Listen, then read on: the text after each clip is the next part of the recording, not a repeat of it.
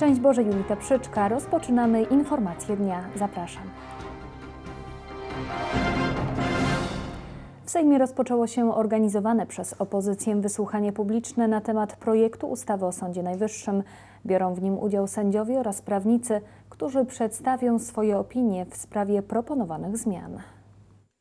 Według zapowiedzi posłów Platformy Obywatelskiej w spotkaniu biorą udział autorytety prawne, które mają przedstawić rzekome zagrożenia wynikające z nowej ustawy o Sądzie Najwyższym. Wśród nich ma być m.in. pierwsza prezes Sądu Najwyższego Małgorzata Gersdorf, były prezes tego sądu Adam Strzembosz, były prezes Trybunału Konstytucyjnego Andrzej Rzepliński oraz przewodniczący Krajowej Rady Sądownictwa Dariusz Zawistowski. Będą z nami po to, by oni e, swoim spokojnym, rzeczowym, eksperckim głosem pokazali, e, dlaczego mm, e, ta ustawa jest tak bardzo niebezpieczna, ale przede wszystkim, by tu w Sejmie toczyła się poważna, merytoryczna dyskusja Mówi poseł PO Borys Budka. Wcześniej dyskutowano, czy osoby te w ogóle zostaną wpuszczone na teren Sejmu. W tym tygodniu wstrzymano wydawanie jednorazowych przepustek dla gości posłów.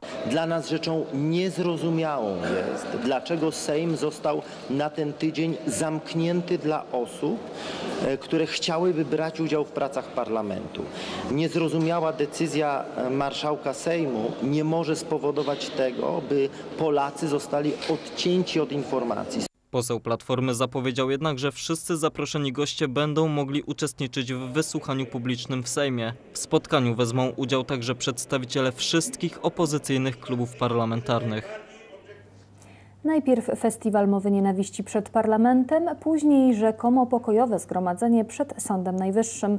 Tak wyglądały wczoraj protesty przeciwko reformie sądownictwa realizowanej przez Prawo i Sprawiedliwość. Protest przeciwko reformie wymiaru sprawiedliwości rozpoczął się przed parlamentem, gdzie zgromadzili się przedstawiciele totalnej opozycji i tak zwanego Komitetu Obrony Demokracji. Manifestacja stała się festiwalem mowy nienawiści. Każde dziecko, każdy dorosły obywatel ma prawo i obowiązek krzyczeć: Precz z kaczorem, dyktatorem! Precz z kaczorem! Dyktatorem! Dyktator na Kremlu ma br- broń nuklearną i ma potęgę wojskową. A u nas w Polsce zamiast Putina jest taki linii Putin. Redaktor naczelny Gazety Wyborczej Adam Michnik był wczoraj bardzo agresywny. Kiedy przeprosi pan za brata, który był stalinowskim mordercą? Jak ty synu zmądrzejesz. I to jest pana odpowiedź, tak? Na scenie pojawiły się m.in. osoby ubrane w więzienne kombinezony z maskami czołowych polityków partii rządzącej. Jedna z osób miała też maskę dyrektora Radia Maria ojca Tadeusza Rydzyka. My mamy prawo oczekiwać od Kościoła katolickiego, że jego chrześcijański głos nie będzie zagłuszony przez głos narodowo-katolickiej nienawiści. To jest wielka odpowiedzialność Kościoła. Nawoływał ze sceny Leszek Balcerowicz. Trybunałem Stanu wszystkim politykom Prawa i Sprawiedliwości, którzy podpisali się pod reformą Sądu Najwyższego, groził z kolei lider nowoczesnej Ryszard Petru. Gdzie jest główny tchórz Rzeczpospolitej? Kaczyński. Podpisał się czy nie? Nie podpisał się, bo on się boi. On się boi, on zasłania się innymi ludźmi. Pamiętajmy, przyjdzie na niego czas. Nieformalni przywódcy środowisk liberalno-lewicowych nawoływali wczoraj do zjednoczenia wszystkich partii opozycyjnych w parlamencie. My mamy prawo oczekiwać od demokratycznej opozycji, że będzie podejmowała więcej, bardziej nośnych, lepiej zorganizowanych wspólnych inicjatyw, bo Kaczyński liczy na rozbicie. Grzegorz Schetyna zadeklarował, że powstaną wspólne listy wyborcze. Mogę, mogę obiecać, że będziemy razem. Będziemy pracować, będziemy budować wspólne relacje naszych klubów parlamentarnych. Będziemy chcieli tworzyć jeden klub przyszłości. Będziemy chcieli być razem, być na jednej liście wyborczej. Totalna opozycja od dawna podsyca społeczne nastroje, nawołując nawet do kolejnej próby puczu i blokowania prac parlamentu. W jej działania wpisują się sami sędziowie, którzy jednoznacznie opowiedzieli się przeciwko demokratycznie wybranej władzy. Prosimy, bądźcie z nami, patrzcie na ręce politykom, nie pozbywajcie się swoich praw. W bardzo spokojnej atmosferze odbyło się natomiast wieczorne zgromadzenie zorganizowane przed Sądem Najwyższym przez Stowarzyszenie Sędziów Justicja oraz przez organizację Akcja Demokracja. Świat polityki zaciska pięść, której jest już prokuratura, proces tworzenia prawa, a teraz będą sędziowie i adwokaci, radcowie prawni, wszyscy broniący prawa. Reforma sądów jest potrzebna. Ale powiedzmy sobie też wprost, że to, co się dzieje, nie jest reformą sądów. To jest zamach na polskie sądownictwo. Że już może niedługo obudzimy się w Polsce, której nasze prawa nie będą przestrzegane. To jednak totalna opozycja w imię obrony demokracji niejednokrotnie posuwa się do łamania prawa.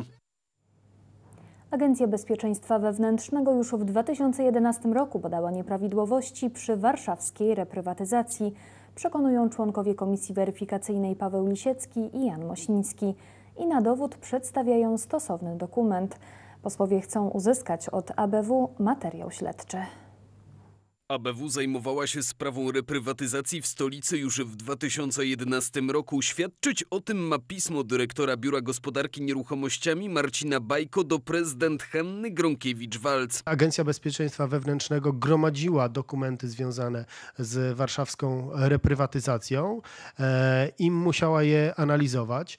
Również z zeznań świadków pana dyrektora Bajko oraz pana Krzysztofa Śledziewskiego wynika, że takie, takie działania operacyjne miały e, miejsce. Do kontaktów z ABW wyznaczony był były pracownik Biura Gospodarki Nieruchomościami Krzysztof Śledziewski. W sytuacji, gdy pracownik, czy kierownik, czy naczelnik wie o, znaczy wie, mm, postępowanie zmierza w kierunku zwrotu nieruchomości bądź wypłaty odszkodowania, co by e, tą informacją się dzielić i zawiadamiać o tym e, Agencję Bezpieczeństwa Wewnętrznego. W pewnym momencie agencja przestała pozyskiwać informacje dotyczące reprywatyzacji. Mimo e, zbierania tego typu dokumentów, e, Agencja Bezpieczeństwa Wewnętrznego w pewnym mom- momencie e, zaprzestała e, działań związanych z warszawską reprywatyzacją. I to powinna wyjaśnić komisja weryfikacyjna. Jej członkowie chcą uzyskać od służby szczegółowe informacje. Prawo i Sprawiedliwość złoży na piśmie do przewodniczącego Komisji Weryfikacyjnej wniosek, aby zwrócić się do e, szefów służb, e, w tym przypadku zwłaszcza szefa ABW, o dostarczenie informacji o działaniach operacyjnych Agencji Bezpieczeństwa Wewnętrznego od roku 2011 do roku 2015. Komisja weryfikacyjna chciałaby też przesłuchać ówczesnego szefa Agencji Bezpieczeństwa Wewnętrznego. Posłowie szukają odpowiedzi, czy już w 2011 roku o dzikiej reprywatyzacji wiedziały najważniejsze osoby w państwie. Mam prawo domniemywać, e, że e, o wynikach prowadzonych działań operacyjnych e, nad tą dziką repry- reprywatyzacją wiedział były premier Donald Tusk i wiedziała również pani premier Ewa Kopacz. Ważnym świadkiem w sprawie jest Hanna Gronkiewicz-Walc. Pani prezydent ma wiedzę o tym, bo uczestniczyła w podejmowaniu tych decyzji i powinna się tą wiedzą z komisją podzielić. Prezydent Warszawy odmawia jednak składania wyjaśnień i komunikuje się z komisją weryfikacyjną tylko za pomocą mediów. W ubiegłym tygodniu Hanna Gronkiewicz-Walc po raz kolejny odmówiła stawienia się na rozprawie. Wiceszefowa Platformy Obywatelskiej została ukarana za to karą grzywny w wysokości 3000 Wcześniej otrzymała już karę wynoszącą 6 tysięcy. Widać, pani Gronkiewicz-Walc ma bardzo wiele do ukrycia. Obawia się e, sprawiedliwości, obawia się e, wyjawienia tych wszystkich nadużyć, patologii, które są związane z przejmowaniem nieruchomości, z okradaniem, można powiedzieć wprost, z okradaniem warszawiaków przez mafię, bo to była mafia prawniczo-urzędniczą. Kolejną sprawą, którą zajmie się komisja weryfikacyjna jest reprywatyzacja kamienicy przy ulicy Nabielaka 9. To w tej nieruchomości mieszkała Jolanta Brzeska, założycielka ruchu lokatorskiego, która najprawdopodobniej została zamordowana przez mafię reprywatyzacyjną. W Ministerstwie Spraw Wewnętrznych i Administracji powstanie Biuro Nadzoru Wewnętrznego. Będzie ono sprawować nadzór nad służbami podległymi ministrowi. Jego zdaniem dotychczasowe możliwości są niewystarczające. Ministerstwo Spraw Wewnętrznych i Administracji przygotowało projekt ustawy, w ramach której powstanie Biuro Nadzoru Wewnętrznego. Zajmie się ono wszelkimi nieprawidłowościami w Policji, Straży Pożarnej, Służbie Granicznej oraz Biurze Ochrony Rządu. Jak mówi szef MSWiA Mariusz Błaszczak, w służbach, gdzie dochodzi czasem do nieprawidłowości, potrzebny jest bezpośredni nadzór ministra. Będę wyciągał i wyciągam konsekwencje wobec tych, którzy się sprzeniewierzają e, składanej przysiędze. I to, I to wszystko. I to jest cały system. Żeby, żebym był skuteczny, muszę mieć narzędzie w postaci Biura Nadzoru Wewnętrznego. Biuro Nadzoru Wewnętrznego nie będzie jednak posiadać uprawnień śledczych. W razie konieczności zleci wykonanie czynności sprawdzających biurom spraw wewnętrznych, które działają w Policji oraz Straży Granicznej. Oba wydziały będą pracować niezależnie od siebie. Pojawiły się jednak problemy natury prawnej. Minister spraw wewnętrznych uzyskałby dzięki temu szersze uprawnienia, których dotychczas nie miał. Jak mówi minister Błaszczak, jego zadaniem jest przede wszystkim zapewnienie obywatelom bezpieczeństwa. Mnie rozliczają państwo z totalnej opozycji za nawet najdrobniejszą sprawę. Natomiast odbierają mi prawo do tego, żebym miał narzędzie nadzoru. Tu jest niekonsekwencja. Ja chcę mieć narzędzie nadzoru, ja chcę nadzorować podległe mi służby. Ja nie jestem malowanym ministrem. Y, Moim zadaniem, i to jest moja odpowiedzialność konstytucyjna, jest zapewnienie bezpieczeństwa. Cywilny nadzór nad umundurowanymi służbami występuje w wielu krajach demokratycznych. Projekt ustawy został już skierowany do uzgodnień międzyresortowych. We Włodawie pożegnano wielkiego bohatera, podporucznika Leona Taraszkiewicza, pseudonim Jastrząb. Chociaż wczorajsze uroczystości pogrzebowe miały charakter państwowy, to jednak władze lokalne nie uczciły należycie legendarnego dowódcy podziemia ko- antykomunistycznego. Uroczystości pogrzebowe dowódcy oddziału partyzanckiego Wolność i Niezawisłość podporucznika Leona Taraszkiewicza zgromadziły we Włodawie, jego rodzinnym mieście, tłumy ludzi.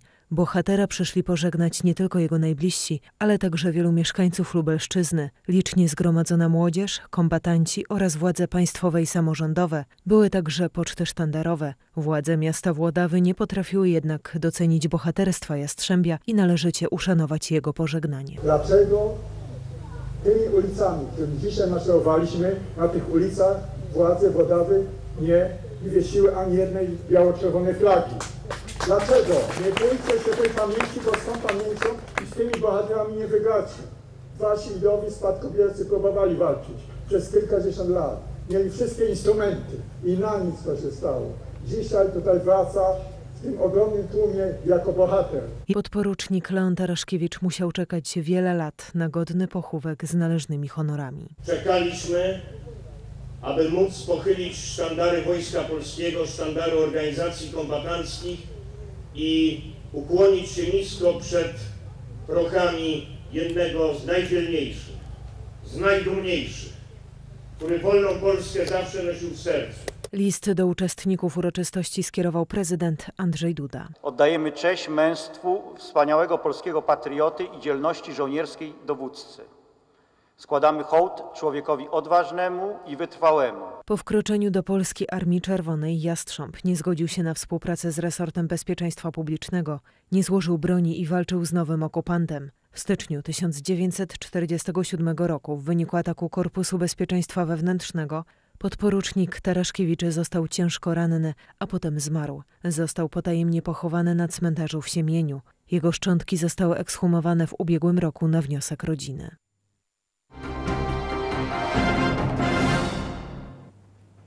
Kandydat SPD na kanclerza Niemiec Martin Schulz zapowiedział, że w przypadku zwycięstwa we wrześniowych wyborach parlamentarnych nie dopuści do wzrostu wydatków na wojsko do 2% PKB. Polityk domaga się także obcięcia funduszy tym państwom, które odmawiają przyjmowania uchodźców. Martin Schulz nie godzi się na to, aby wzrost gospodarczy prowadził automatycznie do wzrostu wydatków na broń, czego chce kanclerz Angela Merkel. Cel wyznaczony przez NATO na szczycie w Walii w 2014 roku niemiecki socjaldemokrata nazwał błędnym i niedorzecznym. Zwrócił uwagę, że w Niemczech nie został on potwierdzony przez parlament. Schulz opowiedział się natomiast za integracją wojskową w ramach Unii Europejskiej. Zdaniem szefa SPD współpraca przemysłów zbrojeniowych państw członkowskich ma pozwolić na obniżenie kosztów. Martin Schulz poruszył także kwestię relokacji nielegalnych imigrantów i uchodźców. Chce uzależnić wysokość dotacji finansowych z budżetu Unii Europejskiej dla krajów członkowskich od ich zgody na przyjmowanie migrantów. Te kraje, które odmówiłyby udziału w relokacji, uzyskałyby w budżecie gorsze warunki finansowe. W swoim programie Schulz stawia także na rozwój gospodarki. Chce wprowadzić do konstytucji zapisy zobowiązujące państwo do inwestycji oraz takie, które ograniczą nadmierne zadłużenie. Liebe Gäste, wollen wir Chcielibyśmy wprowadzić obowiązek inwestycyjny. Państwo nie powinno tworzyć niewłaściwego deficytu i to prawda, ale musi też zainwestować swoje pieniądze w oparciu o obowiązkowy szablon dla poprawy infrastruktury publicznej. Oprócz hamulców zadłużenia potrzebny jest minimalny poziom inwestycji, który zachowuje istotę naszego kraju i jest trwały. Schulz przekonuje, że kluczowe są inwestycje w infrastrukturę. To jest nasz obowiązek i odpowiedzialność, aby w końcu poznać przyszłość i zainwestować w ulice i mosty w naszym kraju, aby pociągi dojeżdżały w zaplanowanym czasie i nie było korków. Kandydat SPD na kanclerza Niemiec opowiada się także za cyfryzacją kraju. W badaniach i rozwoju jesteśmy w stanie dotrzymać kroku naszym międzynarodowym i globalnym konkurentom podczas cyfrowej zmiany. Dzięki temu rozwijamy zrównoważone technologie i zapewniamy ochronę klimatu, a zwłaszcza w edukacji, bo przyszłość dzisiejszych Niemiec zależy od nas, żyjąc w oparciu o twierdzenie, że jesteśmy Republiką Edukacji. Schulz chce także pełnego zatrudnienia i przyzwoitych zarobków dla obywateli Niemiec. Wybory do Bundestagu odbędą się 24 września. Z aktualnych badań opinii publicznej wynika, że CDU kanclerz Angeli Merkel ma zdecydowaną przewagę nad SPD. Wynosi ona kilkanaście punktów procentowych. Socjaldemokraci mają realną szansę na udział we władzy tylko jako mniejszy koalicjant bloku CDU-CSU. Teoretycznie możliwa jest też ich koalicja z Zielonymi i Lewicą. I na teraz to już wszystko, co przygotowaliśmy dla Państwa. Dziękuję za uwagę, życząc dobrego popołudnia. Z Panem Bogiem.